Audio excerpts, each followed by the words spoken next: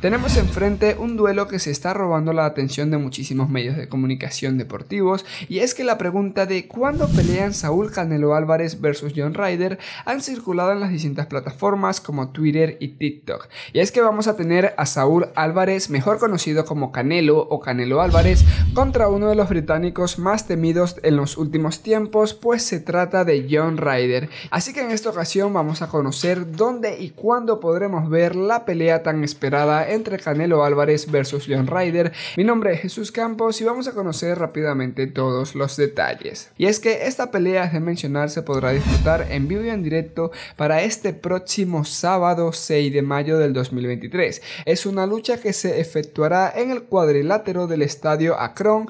Esta es una pelea donde estarán miles de espectadores que apoyarán indiscutiblemente a su compatriota e ídolo Canelo Álvarez, así como también otros ingleses que estarán apoyando al famoso John Ryder.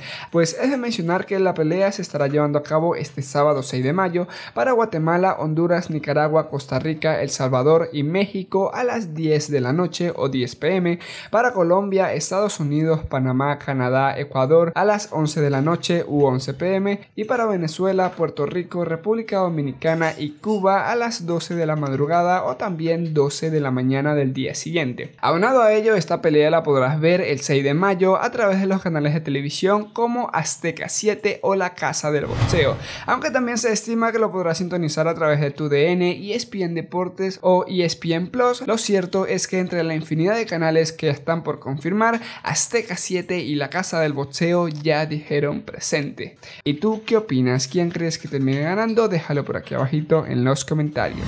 ¿Y tú qué opinas sobre todo esto que está pasando? Déjame tu opinión aquí abajito en los comentarios. Recuerda darle like al video y suscribirte al canal. De esta forma me estarías ayudando a seguir informando para ti.